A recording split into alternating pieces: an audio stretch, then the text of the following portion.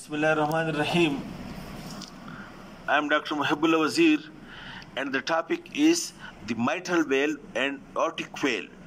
Look, the opening of the opening from the left atrium into the left ventricle, it is being guarded by this orifice which is called as the bicuspid valve or mitral valve or left atrioventricular orifice. And what happens that first of all a fibrous ring a ring made up of fibrous tissue it is being fitted a fibrous ring is being fitted over here into this atrioventricular orifice like the lintel of a door. And then to this fibrous ring then the septa are being fixed like that one septum anteriorly and one septum posteriorly. We call it as the upper anterior cusp and this posterior cusp like the flaps of the door. Look you can see it over here. Look first of all the fibrous link is being fixed into this orifice and then to this this cusp you can see this one cusp and another one posterior to that. Look this is actually we have removed the posterior wall and we are looking at it from the posterior side. That's why you can see this is the posterior cusp of the bicuspid valve and the other which lies behind it that is anterior cusp because we are looking at her from posterior side.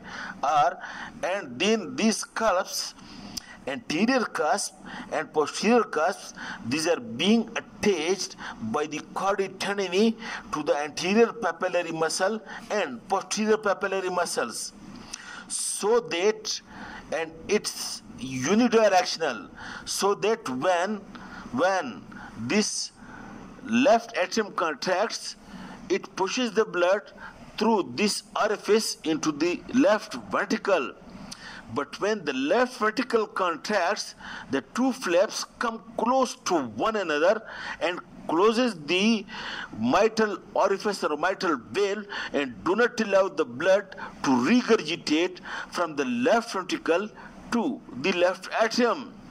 If due to some reason, for example, you can say that of rheumatic fever or any other carditis or endocarditis, if this will become weak and then what will happen during ventricular contraction?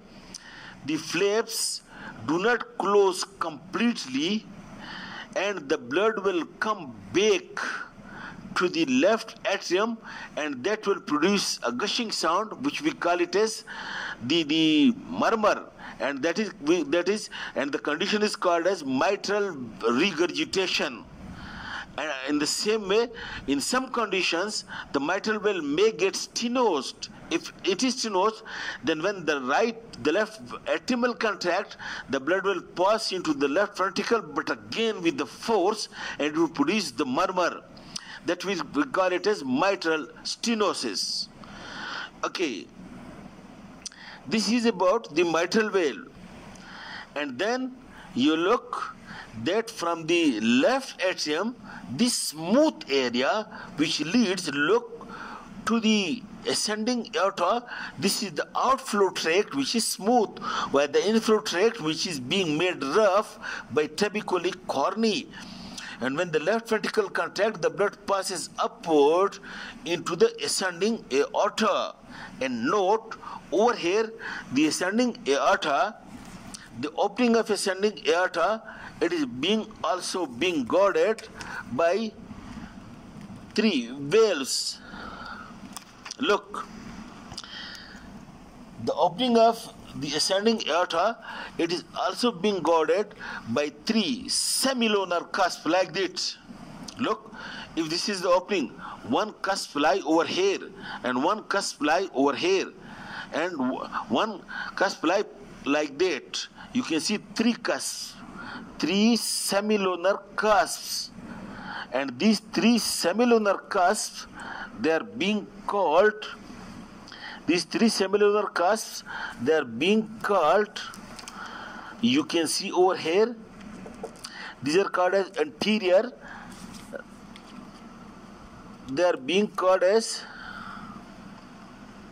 the opening of the aortic opening like that of the coronary sinus it is being guarded by three semilunar cusps. You can see one is called the left cusp and one is called as the right cusp and the other is posterior. It's like this. It, we have opened it and then made it flap. Otherwise it's like this. And it is called as right anterior and left anterior and one posterior from these cusps over here originate the right and left coronary artery.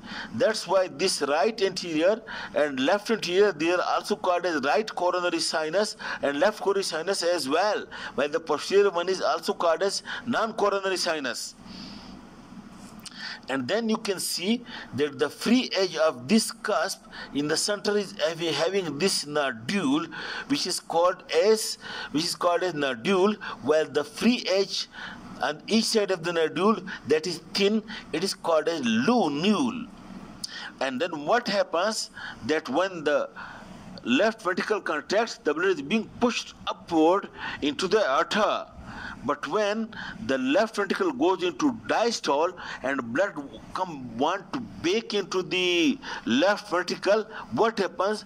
These cusps are being filled with blood, and when they get filled with blood, they come close to one another and unite edge to edge like this. You can see over here the three cusps are now lying edge to edge and it does not allow the blood from the aorta to come back into the left ventricle okay? And this at the same time when these cusps are being full of blood the coronary arteries at the same time receives then the blood from these three for these two cusps which are the right and left coronary cusps. Okay this is all about the mitral valve and tricuspid valve and I have also discussed it in the form of the, the tricuspid, the right side and on the left side the bicuspid valve and on the right side the pulmonary orifice and the left side the aortic orifice. I hope you will be clear about that. Okay, thank you very much.